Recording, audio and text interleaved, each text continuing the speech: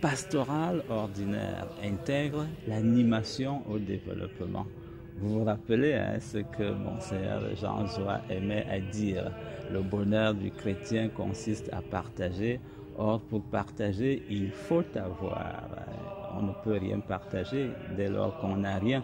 Nous devons donc engager les communautés à, réaliser des œuvres hein, pour décoller au plan euh, économique.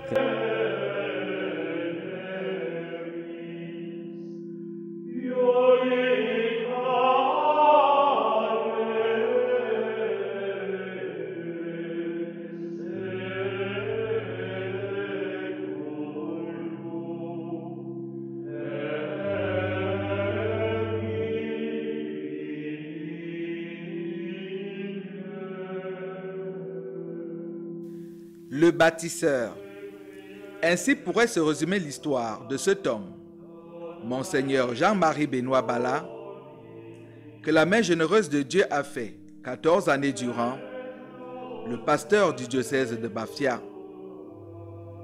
Un homme que les communautés pleurent.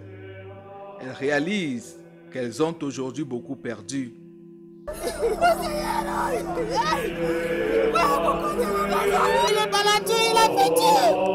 Il plus pas nous a fait Dieu. Maman, c'est Dieu, c'est le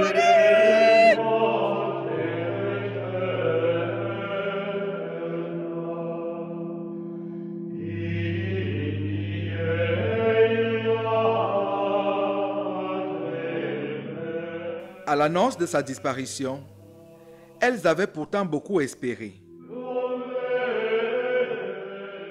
Je n'ai pas cru à cette disparition-là.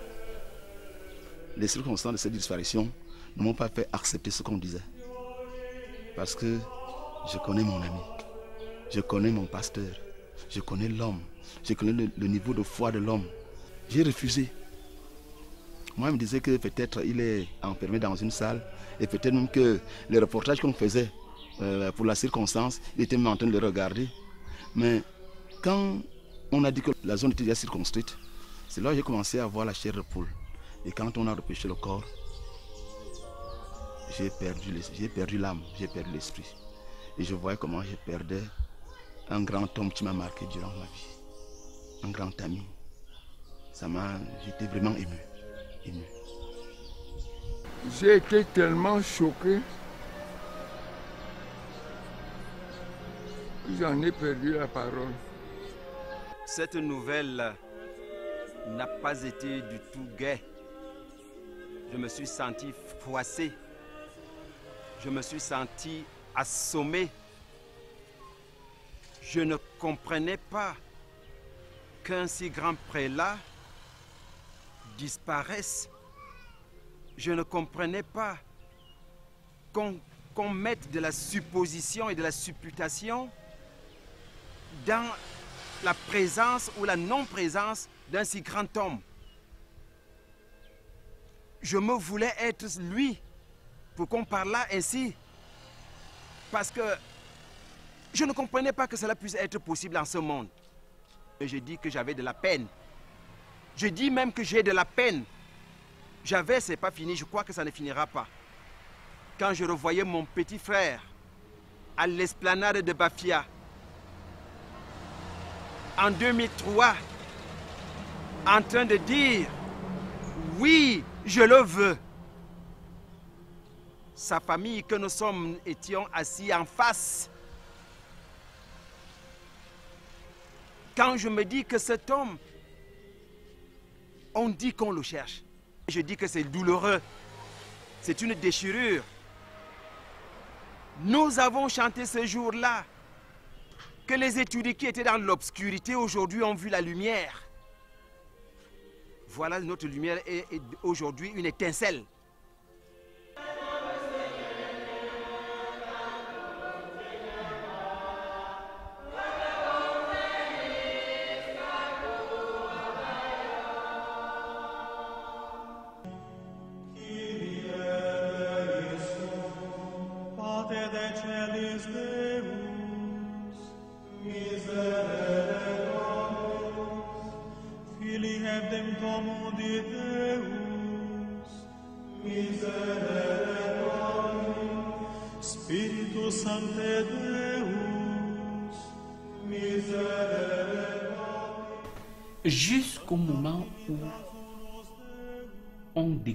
Son corps, jusqu'à ce vendredi fatidique-là, je ne croyais pas. Moi, je ne croyais pas. Je me disais, bon, euh, peut-être qu'il est parti se reposer pour ne pas être dérangé.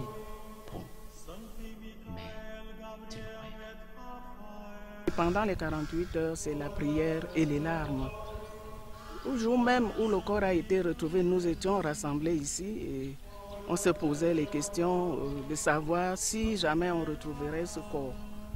Mais quand nous avons appris, d'autres même étaient présentes là-bas, le jour où le corps a été retrouvé, nous avons eu encore euh, de l'espoir et de la vie parce que nous sollicitions que ce corps soit vraiment, s'il est dans l'eau, soit retrouvé pour qu'on ait au moins les traces, qu'on le revoie encore pour les derniers moments. Nous étions dans les larmes et avec le corps retrouvé, dans un premier temps, nous avons compris que le Seigneur a exaucé nos prières parce que nous demandions toujours que si c'est vraiment qu'il est mort, qu'on retrouve le corps.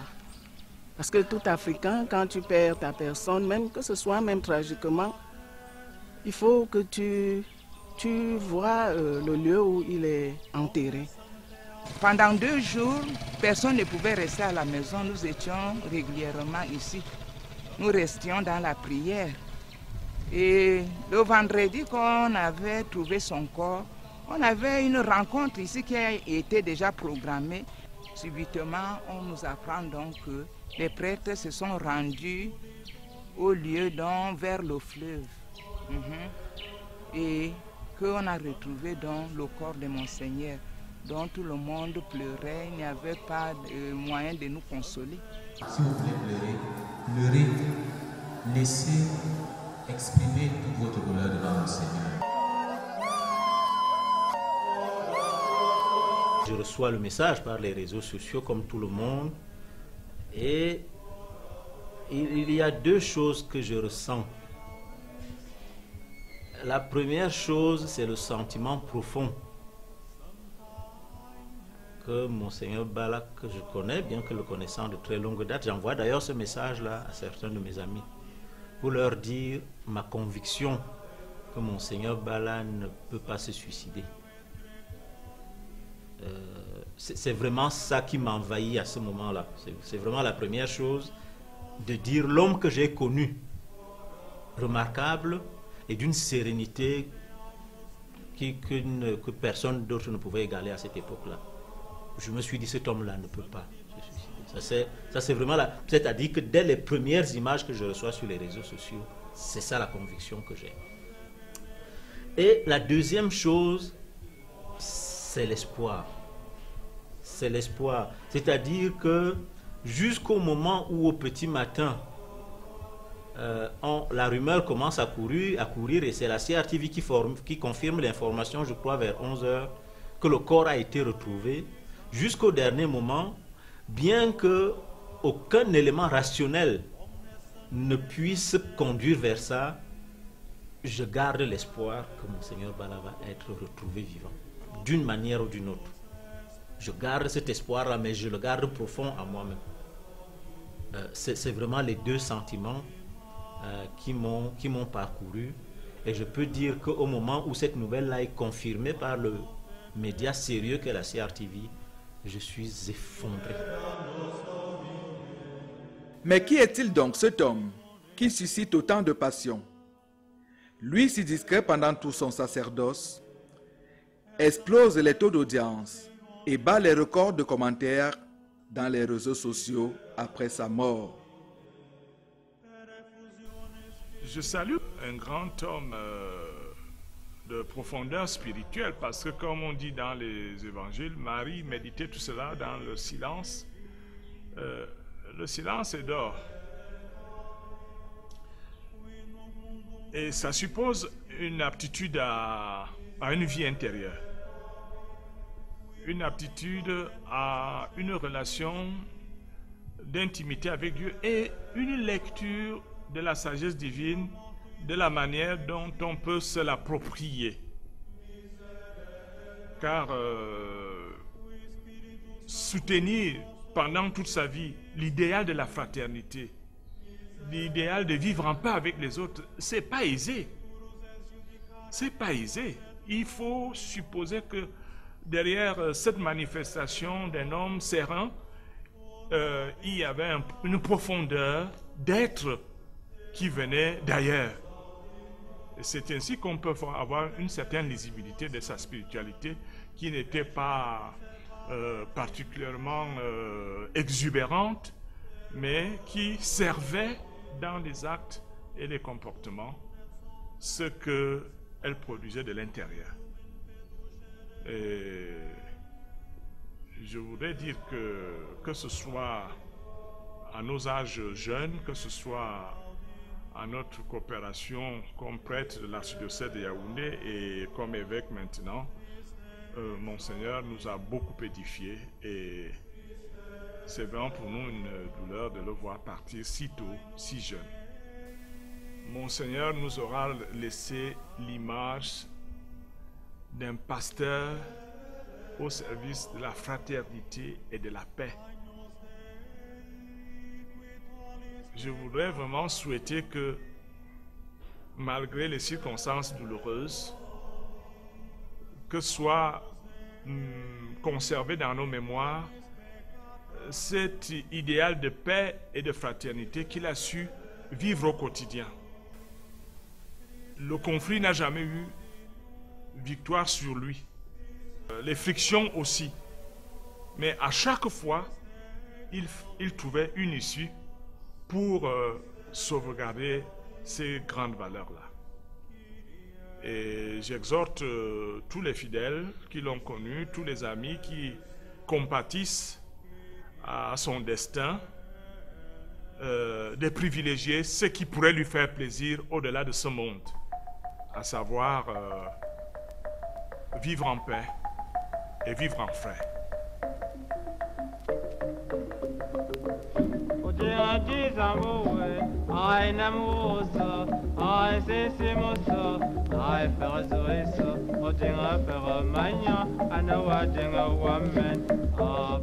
De par sa simplicité, son humilité, sa disponibilité, sa joie, un homme calme et réfléchi renfermé peut-être dans le sens où il ne se précipite pas. Il prend le temps de réfléchir, d'observer chaque situation avant de se prononcer. D'ailleurs, euh, il nous faisait nous-mêmes réfléchir. Le temps de voir mûrir la situation. Donc pour moi, il était plutôt ouvert, mais d'une ouverture euh, mûrie responsable. On sentait que c'est un responsable, donc il ne prend pas les décisions là. Il prend d'abord le temps de réfléchir, d'écouter. Il écoutait beaucoup. Quand il vous a confié une responsabilité, vous allez lui rendre compte parce qu'il aimait beaucoup suivre. Donc, à travers des comptes rendus, par écrit ou oralement, il prenait le temps d'écouter longuement. Puis après, il vous interrogeait pour recueillir votre avis. C'est un spirituel. Il priait beaucoup, méditait beaucoup. Alors, du coup, ça fait de lui un homme qui, qui est intérieur mais très ouvert, très disponible, très jovial.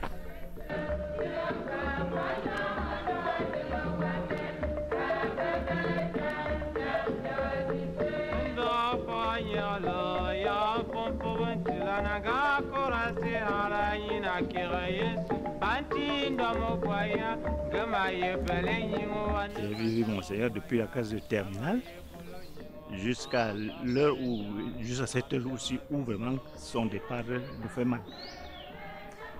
C'est avec trop de, larmes aux yeux que je me prête à, parler de lui parce que vraiment, non seulement j'étais son, son secrétaire, plus de ça j'étais son grand frère, mais vraiment c'est difficile pour moi de tenir un témoignage à son que c'est quelqu'un qui nous a marqué durant tout son séjour aussi C'est quelqu'un qui savait résoudre tous nos problèmes. Il avait une façon vraiment. je ne sais, pas- vraiment, les mots me manquent. C'est-à-dire, quand vous voyez la- euh, l'abbé à l'époque, vous ressortiez de, son bureau après avoir après y être entré avec un problème, mais c'est avec la joie au cœur, avec le rire que vous, vous rejoignez votre bureau parce qu'il vous aurait répondu, ou résolu euh, il aurait résolu votre problème comme il le fallait. On voyait en lui un cardinal, quelqu'un de bien. Ça, c'est ça qui nous a beaucoup marqué. Parce que évêque, nous, on trouvait ça que c'était peu. Parce que c'était quelqu'un, un humain, quelqu'un qui savait résoudre le problème.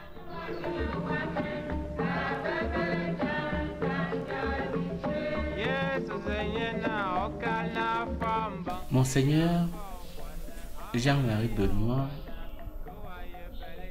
était un prêtre consacré à son travail. Comme évêque, la relation qu'il a pu avoir avec nous, c'était d'abord une relation de respect de ses prêtres.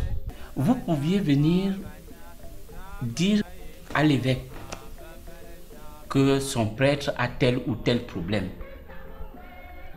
Il s'assurait d'abord, de ce que dit Paul, non? On ne condamne pas quelqu'un avant de l'avoir écouté. Il euh, vous convoquait, il vous posait le problème pour que vous, vous lui donniez votre version. La prière était d'abord la première préoccupation. Prière pour ses prêtres, prière pour ses chrétiens. Il savait que c'est une responsabilité qu'il a à assumer auprès de ses prêtres et auprès de ses chrétiens. Et la force pour pouvoir guider ce peuple qui lui a été confié, il a puisé là. Ce n'était pas un homme d'éclat, mais c'était un homme sûr. C'était un homme qui rassurait. Les témoignages se succèdent sur cet homme peu ordinaire au sourire omniprésent qui a spécialement marqué le monde dans la discrétion la plus totale. C'était un homme calme. Nous avons d'ailleurs pris des, sur- des surnoms. J'ai dit que j'étais le baladure et qu'il était le baladou. C'était la nuance que je mettais entre moi et lui. Je garde de cette personnalité marquante le souvenir de quelqu'un de très calme, très pondéré. Il avait le verbe rare, et, mais il écoutait beaucoup. Par ailleurs, il m'a été donné de constater tout petit qu'il était très très discret et posé. Euh, en tant que président de notre amicale, euh, j'ai constaté que chaque fois que monseigneur m'apercevait dans la foule ou quelque part dans le cadre d'une cérémonie, c'est lui qui prenait la peine de venir vers moi. C'est vous dire si c'était quelqu'un de très très humble. Hein? Et il ne m'appelait jamais par mon prénom, il commençait toujours par dire Monsieur le Président. Vous vous rendez compte, un évêque qui parle à son cadet, mais qui chaque fois dit toujours Monsieur le Président, et qui va vers le cadet. C'était pour moi une marque d'humilité euh, qu'il faudrait peut-être euh, copier. J'ai rencontré Monseigneur euh, Jean-Marie Bala à la fin des années 87. Il venait d'être ordonné prêtre. Et moi, j'étais scolastique déjà, en train d'entrer chez les jésuites. Donc, je me souviens très bien de ce jeune prêtre qui avait une allure assez frêle, mais très écoutant, qui savait écouter les gens. C'est-à-dire que lorsque vous l'abordiez, il vous écoutait parfaitement et il parlait très peu. Mais quand il se lâchait, il avait un rire, un rire qui savait un tout petit peu poétiser la vie. C'est-à-dire quoi? C'est-à-dire que lorsque vous lui posez un problème, mais il vous répondait par un petit sourire et un rire après pour vous faire sortir de la difficulté qui était la vôtre, qui vous permettait de croire que la vie vous avait lâché. la relation que j'ai parfaitement eue avec lui, c'est quand il est devenu mon évêque. C'est-à-dire, je suis originaire du Grand Bam en général. C'est à ce moment-là que nous nous sommes rapprochés et on est devenu quelque peu, il est devenu mon confident. Et quand j'ai eu euh, un certain âge, l'âge de la maturité, c'est la première personne que j'ai appelée ce jour-là, c'était mon Seigneur Jean-Marie Bonabala. C'est lui j'ai tel âge aujourd'hui. Il a dit, gloire à Dieu. Mais il faut très bien comprendre que la vie ne s'arrête pas à l'âge, quel que soit l'âge où on est. Il faut toujours être en action, en route, en route vers le Seigneur, parce que chaque jour que Dieu nous donne de vivre est un jour qui nous permet de nous rapprocher de lui. Quand il est venu en visite pastorale euh, dans un village proche de chez nous, il dit Qu'est-ce que ça te fait, mon Seigneur, d'être évêque aujourd'hui Est-ce que tu n'es plus un homme comme nous? Il me dit Certainement, je ne suis plus qu'un homme comme vous, parce que je suis apôtre mais je reste celui-là sur qui Dieu a posé sa main et qui a la grâce de Dieu chaque jour.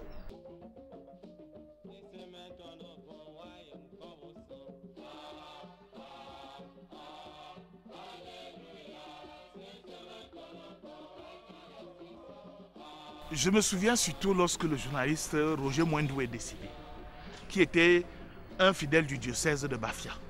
Et nous sommes allés à l'enterrement de Roger Moindou au village euh, Ngwetou. Monseigneur est arrivé en retard. C'est-à-dire, il est parti de Bafia, ses responsabilités n'avaient pas permis qu'il amène. On a commencé par les témoignages et j'étais l'homme qui, justement, présentait cette cérémonie euh, mortière en faveur de ce téné dans la profession de journaliste, ce téné qui était aussi chrétien et dont je profite cette occasion pour saluer la mémoire. Et quand il est arrivé, on a tout arrêté. Il a simplement dit, ben, continuez, continuez à faire, à dire ce que vous disiez sur Roger. Ce n'est pas parce que moi, votre évêque, je suis arrivé, que tout le monde devient subitement silencieux. Mais continuez. Ce que moi j'ai à dire, je le dirai pendant l'Eucharistie. Tout le monde s'est mis à rire. Or, c'était un moment très triste. Il y avait là des journalistes camerounais, des journalistes de la CRTV qui avaient fait le voyage difficile de cette route euh, de Yoko pour arriver jusqu'à Ngwetou. Et la présence de l'évêque nous a tous rassurés. Et le plus difficile encore, c'était quand il fallait enterrer Roger. Alors il y avait une certaine tradition. Comme Roger était prince dans son village, et on a dit, pour l'enterrer, il faut que tout le monde sorte. L'évêque était, je devais donc dire à l'évêque que la tradition vous te demande qu'on ne puisse pas, euh, euh, puisse enterrer Roger dans la stricte intimité du village. Alors il m'a regardé, il m'a dit, entre cette tradition que tu conserves et euh, la foi que tu as en toi, continue donc de faire la synthèse. Il m'a tourné le dos et il est parti. J'étais resté très embarrassé parce que je me demandais comment je vais pouvoir expliquer à notre évêque qui est venu enterrer Roger Mwendou que comment il ne peut pas accéder à la tombe. Alors il a, comme c'était un homme conciliant, il savait, c'était pas un homme qui allait au choc. C'était un homme qui savait mettre de l'eau à son moulin, comme on dit en français, comme on le dit dans le langage usuel, mais surtout un homme qui savait écouter. C'est sans aucun doute cette capacité d'écoute, ce sens de l'organisation qui manque le plus aujourd'hui à ceux qui le pleurent. Il représentait l'orthodoxie de la foi. Il était l'ordre dans un monde aussi chaotique que le monde contemporain il était pour beaucoup comme un îlot de paix dans lequel on pouvait se ressourcer. Le souvenir que je garde de mon Seigneur euh, Jean-Marie euh, c'est devenu d'un frère, un frère euh, très calme, un frère qui, qui est prêt à aider les autres, un frère qui est proche de nous proches les uns, euh, des autres. Euh, Monseigneur euh, Pala, c'est un frère qui s'est qui s'est donné aux autres, prêt à rendre service aux autres. Au sein de la conférence, il avait la charge de s'occuper des finances. Et je vois comment Benoît Bala prenait au sérieux cette, euh, cette charge, comment il l'exerçait, comment il préparait le budget de la conférence. Donc, euh, en ce qui regarde le service à rendre comme évêque, c'est un homme euh, très dévoué, un évêque qui se donne totalement aux autres et qui fait confiance aux autres. Et, surtout, euh, vous ne pouvez pas voir euh, Benoît, euh, n'est-ce pas, Monseigneur Benoît, en train de s'agiter. Même au sein de la conférence, même s'il prend la parole, il prend la parole de manière calme et il expose de manière claire ce qu'il ce qu'il veut faire. Donc, on voit bien que c'est un homme très ordonné dans tout ce qu'il fait. Pendant le tournage de ce documentaire, euh, nous voulions, j'étais avec Marcel Edon, euh, Jean-Jacques Momha, nous voulions aller voir euh, Bafia Bainait. Il nous a formellement, formellement interdit la sortie. Il dit, vous allez dormir ici dans la cage épiscopale. Quand il parle de cage, vous, voyez, le diocèse, de, l'évêché de Bafia, parsemé de fer. Alors, vous allez dormir ici dans la cage épiscopale. Et malgré nous, nous avons dormi dans la cage épiscopale. Et surtout qu'il y avait un gros chien qui était lâché, on ne pouvait pas s'amuser. L'homme Bala, c'est un garçon au séminaire, petit séminaire, d'une intelligence très fine, très, très, très fine. Et un homme de fermeté euh, par rapport à son physique, si vous y méprenez, vous allez vous trouver devant un fil de fer qui plie mais ne rompt pas. Et quand Bala a pris position, il est très difficile de le faire déchanter. C'est une intelligence en plus vive qui va au fond des choses. C'est un homme très introverti et taciturne, il parle très peu. Et un homme euh, de foi, un intellectuel affermi, qui peut-être ne publie pas, mais Bala est très bien formé. Et, c'était un garçon très sage. Par rapport à nous autres, il était le plus taciturne de nous tous. Il était un homme de commandement, parce que dans le, au séminaire, il avait des postes de commandement, chef de ceci, chef de cela. Je me rappelle, si je peux maintenant aller jusqu'au grand séminaire, il a été directeur du journal euh, Rencontre avant que je n'y sois. Il a été responsable du groupe de l'archidiocèse de Yaoundé. Euh, il a été souvent choisi pour être à la tête des camarades. Voilà ce que je, qui me vient rapidement en tête.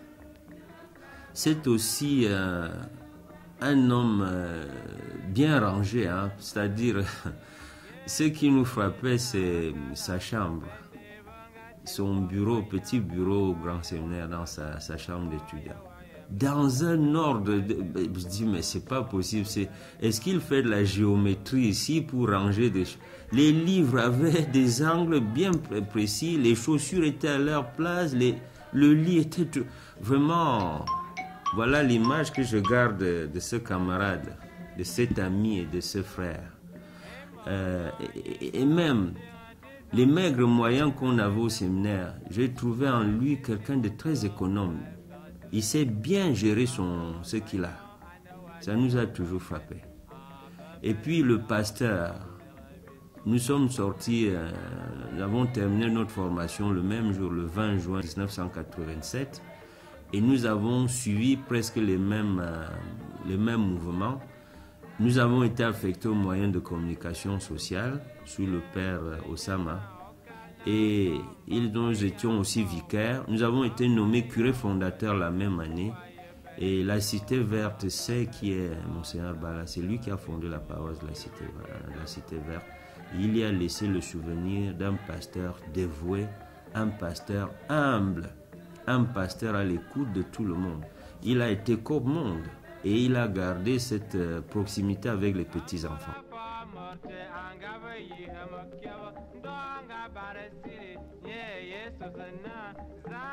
Monseigneur Jean-Marie Benoît Bala est un homme euh, qui a cru en la fraternité.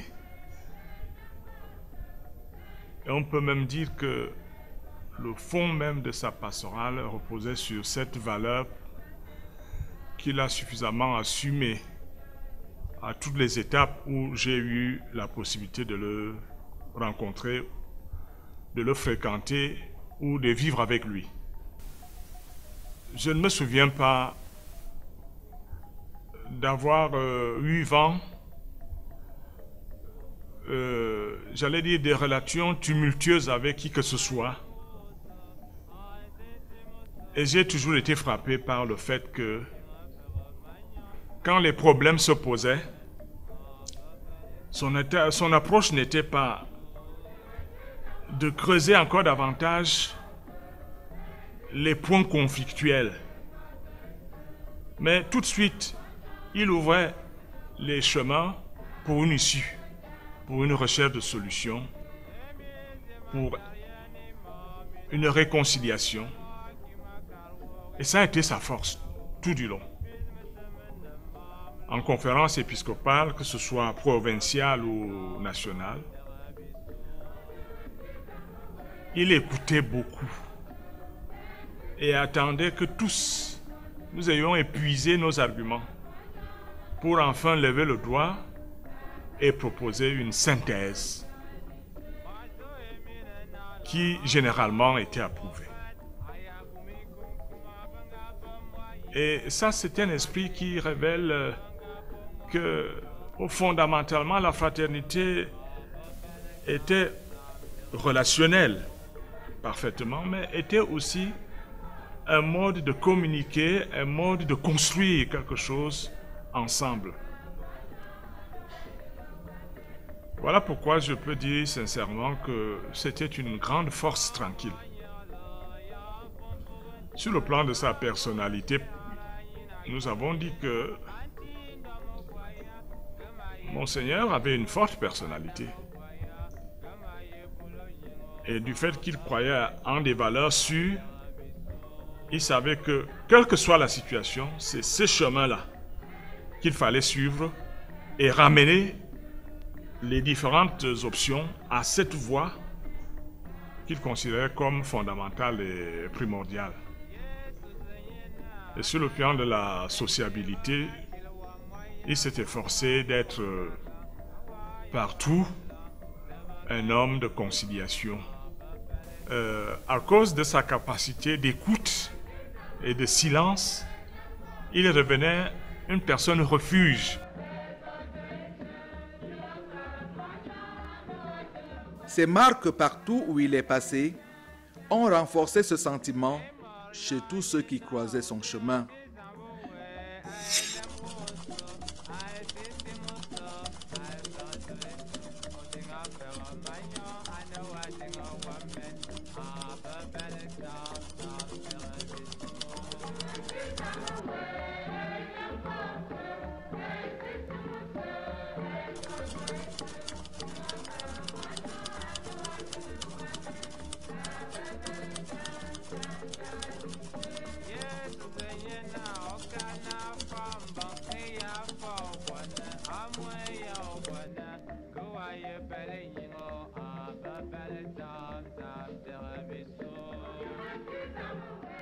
Au diocèse de Bafia, qu'il a tenu de main de maître pendant 14 ans, on pleure avant tout le bâtisseur infatigable.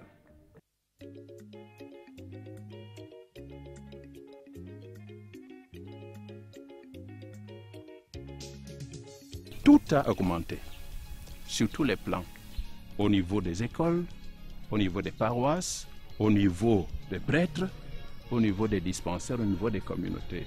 Pour prendre le cas des paroisses, on est passé, je crois, de 15 paroisses à son arrivée à 41 paroisses, avec les dernières créées en 2016, juin 2016, 41 paroisses. Dans l'ensemble du diocèse, au niveau des prêtres, on est parti d'une quinzaine de prêtres à près de 50 aujourd'hui.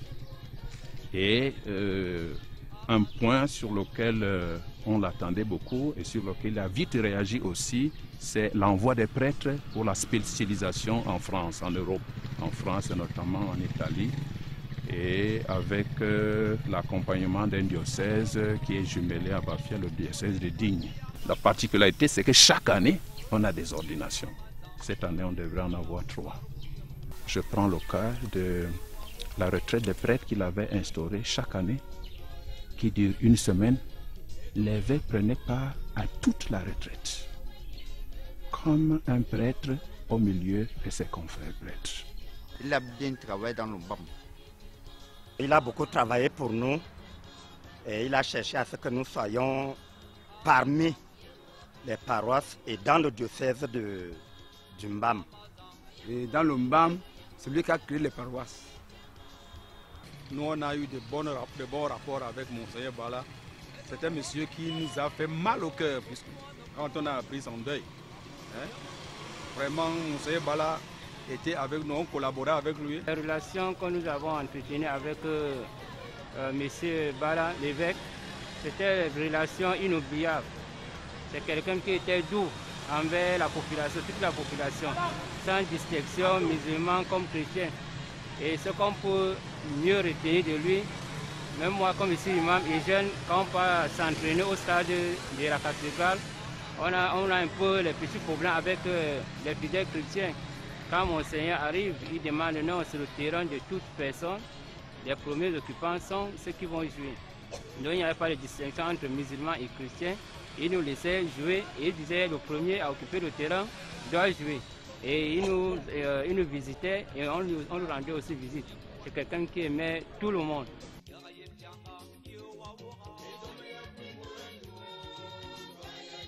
Son diocèse était immense parce que partir de Bafia pour Yoko, ce n'est pas la porte d'à côté.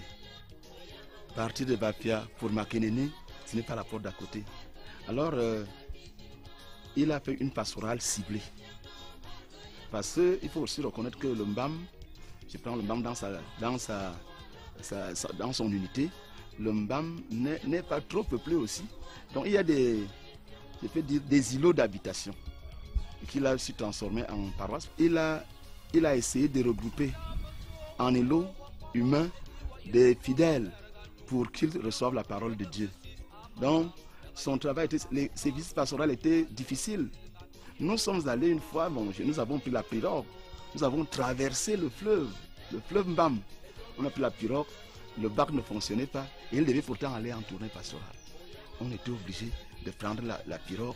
Bon, moi qui ne suis pas de l'eau, j'avais peur de cette eau-là et on a pu quand même traverser. Ses pères lui faisaient confiance et admiraient en secret toutes ses qualités. Il a vraiment marqué euh, son passage ici au petit séminaire comme recteur. Je prendrai d'abord euh, sur le plan infrastructurel. Euh, Conserver les, bâti- les bâtiments tels que vous les voyez, c'est pas évident. Et Monseigneur, pendant six ans comme recteur, a vraiment travaillé à la conservation et au maintien de ces bâtiments.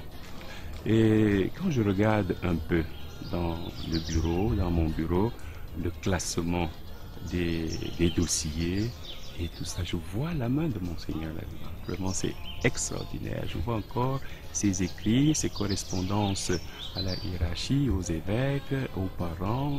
Tout est bien classé, vraiment. Monseigneur Jean-Marie était un homme euh, vraiment très, très ordonné.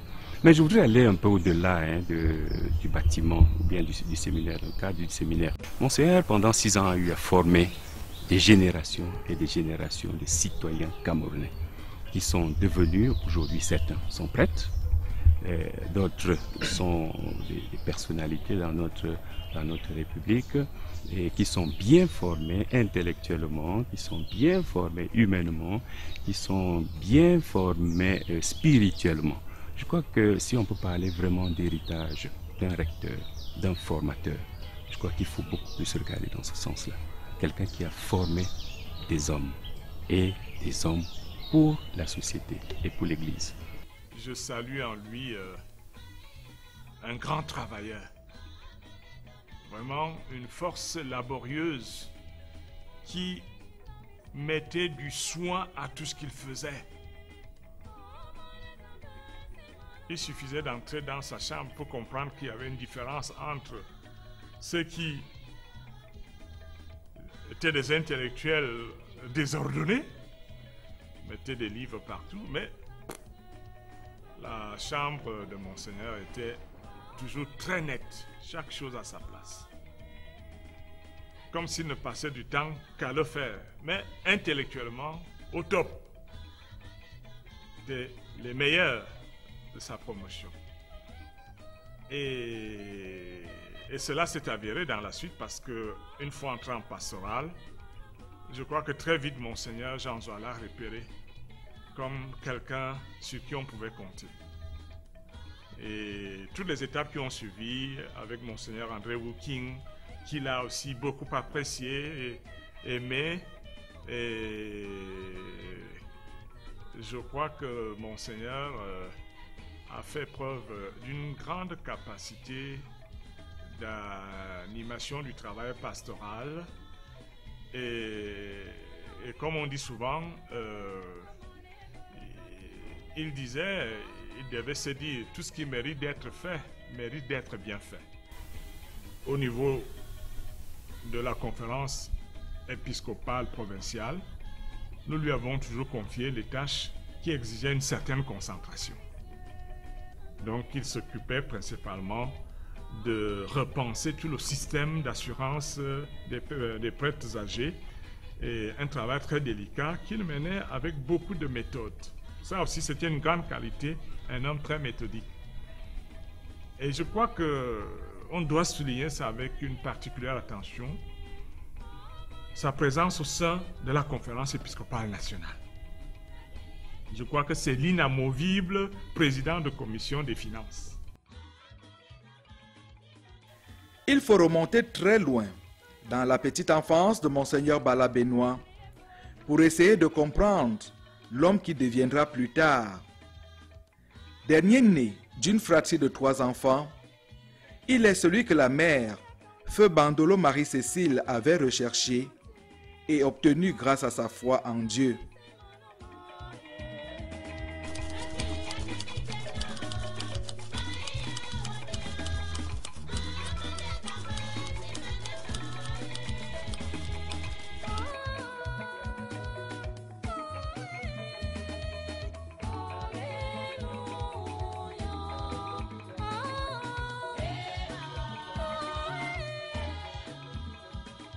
Monseigneur a grandi ici tout petit, dans une famille très pieuse. La maman était cuisinière au collège 5 heures de Marie et le papa travaillait avec les prêtres blancs qui étaient ici. C'est pour ça que son ouverture a donné force à ce qu'il a choisi faire dans l'avenir. Mais c'est à son père, Feu Bala Benoît, qui ressemblera le plus. Sa sœur aînée, Marie-Thérèse Assiga, témoigne qu'il avait hérité de son calme, sa réserve, son amour des choses bien faites et surtout sa capacité d'écoute. À l'époque, ce n'était pas n'importe quel enfant qui était capable de servir la messe. Et Monseigneur, déjà tout petit, était servant de messe. C'était admirable. Parce qu'il euh, y avait un prêtre blanc ici. À chaque erreur, c'est la taloche que vous prenez sur la tête et les enfants fuyaient. Quand vous, faisiez, vous commettiez des erreurs pendant la messe. Et l'application de Monseigneur lui avait épargné ces taloches. Chez les Bala, ce n'est pas l'opulence, loin s'en faut. cet endroit est le domicile de feu Monseigneur Jean-Marie Benoît Bala, domicile de ses parents. Là était la maison paternelle. Et Joseph, le frère aîné de Monseigneur, avait fait ses, chambrettes pour euh, se suffire d'un peu d'argent avec les élèves du lycée technique de Mbalmayo.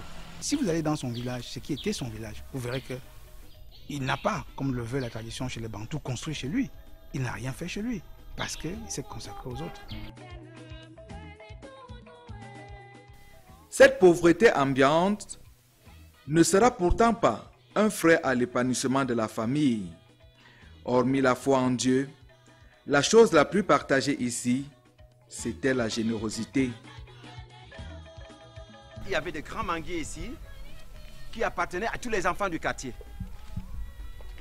Il y avait des cannes à sucre ici. Tout le monde pouvait venir se délecter. On ne les vendait pas.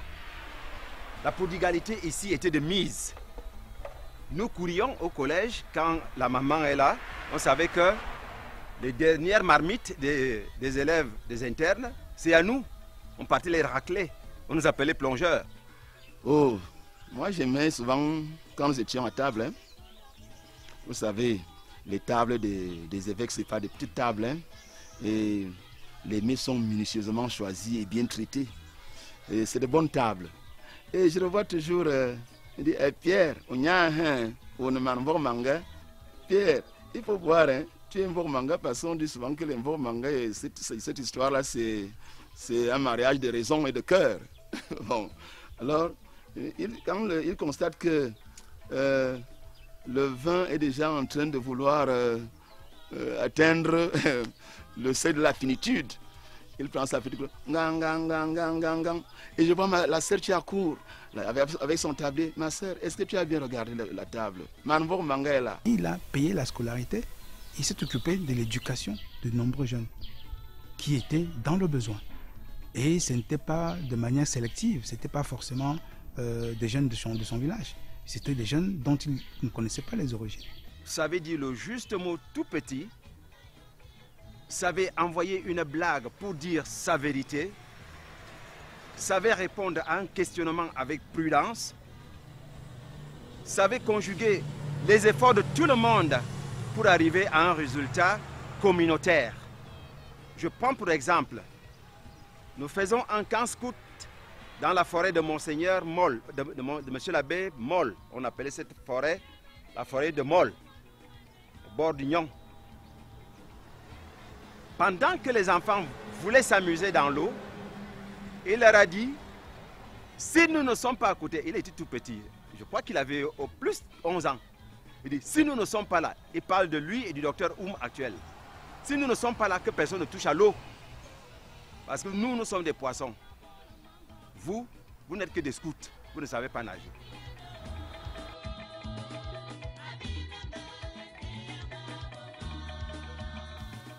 Ce manque d'opulence expliquera peut-être des années plus tard le choix de la devise épiscopale de Monseigneur Jean-Marie Benoît Bala, le don de Dieu.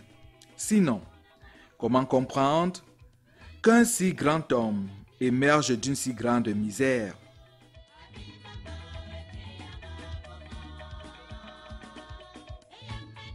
Nous devons déjà lire à partir de là où nous sommes ce que c'est que le bon fruit. Voyez le domaine dans lequel était sorti ce bon fruit. À ceux qui veulent être très grands pour en faire beaucoup, je crois que c'est l'exemple qui nous donne le contraire de ça. Pour nous dire que la graine ne pousse que dans les ordures. Voilà là où mon Seigneur a grandi. Voilà qui il est devenu demain. Ce qui signifie que ce n'est pas parce que l'enfant est né dans la pauvreté qu'il ne sera pas grand demain. Les exemples sont patents au Cameroun. L'étoile d'auvent s'est éteinte, les amis et frères de Mbalmayo n'auront plus que les mémoires de leur évêque, écrites par lui-même, pour se forger une voie dans l'avenir. La, la mission, c'est quoi? C'est euh, de, de- de nous laisser conduire par l'Esprit de Dieu et, partager ce chemin que nous faisons avec Dieu, avec nos frères et sœurs. Les conduire donc eux aussi à, Jésus-Christ. Et ce qui est vraiment euh, la base de tout, c'est le cadre de la mission à réaliser, ce que nous appelons dans un diocèse le projet pastoral diocésain. Et je pense que s'il m'était demandé de dire ce que véritablement j'ai accompli avec le secours de Dieu, c'est que euh, j'ai essayé de mettre la communauté diocésaine dans un projet de vie ecclésiale, un projet de vie évangélique, le projet pastoral, diocésain en Église, famille de Dieu, connaître, euh, aimer et servir Dieu dans la synodalité, la co-responsabilité et la fraternité pour être saint comme notre Père céleste est saint. Je cite souvent ce que Saint Paul nous dit. J'aurais beau connaître tous les mystères, j'aurais beau distribuer mes biens aux pauvres, si je n'ai pas la charité, je ne suis rien. Alors nous avons beaucoup travaillé pour que cet esprit-là de communion, de fraternité, soit partagé dans le diocèse. Et le slogan qui est repris par toute la communauté, nous disons, dans la fraternité, le MBAM vivra. Sans la fraternité, les perspectives d'avenir ne peuvent être que sombres. À ceux qui pleurent encore sur sa mort, il donne une leçon magistrale dans ses mémoires. Nous ne pouvons pas imaginer une vie chrétienne sans croix. Mais euh, la leçon qu'on tire de cela, c'est d'autant plus que Jésus lui-même nous en a averti en nous disant qu'il veut être mon disciple, qu'il prenne sa croix et qu'il me suive. La leçon que nous pouvons tirer après une longue expérience hein, de vie chrétienne, de vie pastorale, c'est qu'effectivement, euh, ce qui importe, ce n'est pas davantage le fait des circonstances de la vie qui sont bonnes ou mauvaises. L'important est dans la manière d'assumer ces circonstances. La vie, nous devons euh, la résumer vraiment dans l'amour de Dieu. Parce que si nous sommes appelés à vivre, c'est parce que Dieu a formé ce projet-là, lui le premier, c'est lui qui nous appelle à la vie. Et ce qu'est notre vie, hein, tout le bien, tout le bonheur que nous pouvons tirer de la vie, nous le tenons de l'amour de Dieu. Et, voilà pourquoi hein, euh, la référence à Dieu doit être fondamentale dans toute vie. Une vie sans Dieu n'est véritablement pas euh, une, une vie. Vous voyez le, pape Benoît XVI qui nous dit une chose très pertinente. Il nous dit, mais le problème, c'est pas que les hommes euh, veuillent construire un monde sans Dieu. En fait, beaucoup sont engagés à le faire. Mais le problème, c'est que chaque fois que les hommes s'engagent à construire un monde sans Dieu, ils récoltent un monde contre l'homme.